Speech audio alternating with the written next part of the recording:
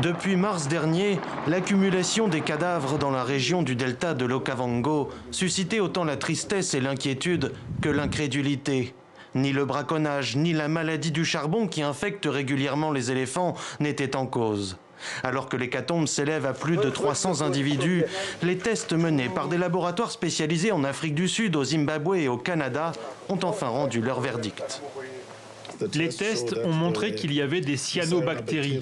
Ce sont ces bactéries qui pourraient avoir produit des toxines dont on sait qu'elles affectent la faune et le bétail. C'est quelque chose qui se produit assez souvent lorsqu'il y a ces changements environnementaux. Voilà qui éclaire les comportements décrits par Éléphants sans frontières dans un rapport délivré début juillet. L'ONG avait observé des éléphants en vie mais faibles, léthargiques et désorientés, incapables pour certains de suivre le troupeau malgré les encouragements de leurs congénères. Des comportements qui correspondent aux symptômes que provoquent les toxines délivrées par les cyanobactéries, autrement appelées algues bleu-vert, des toxines dangereuses pour l'homme, voire mortelles pour les animaux.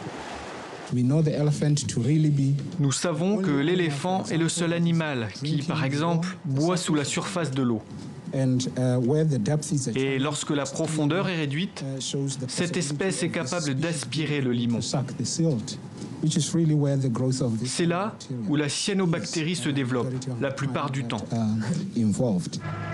Les morts d'éléphants ont en effet cessé à la fin du mois de juin, période qui coïncide avec l'assèchement des points d'eau incriminés. Le département de la faune du Botswana assure poursuivre sa surveillance et va proposer bientôt des interventions pour éviter d'autres décès.